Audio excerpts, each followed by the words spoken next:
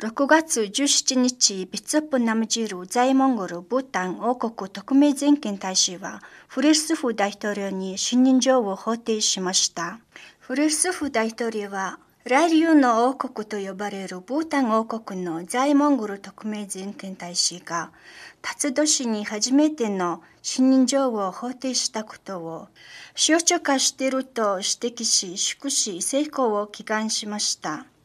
両国は地理的に遠いものの豊かな遺産、文化、伝統などの共通の価値観に基づき、全分野で関係と協力を拡大する可能性を秘めていると強調しました。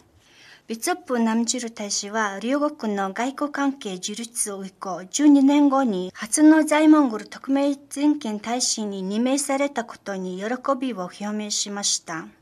今後政治、農業、文化、教育、保健など各分野での協力拡大に積極的に取り組むと述べました。モンゴルとブータンは2012年1月12日に外交関係を樹立しました。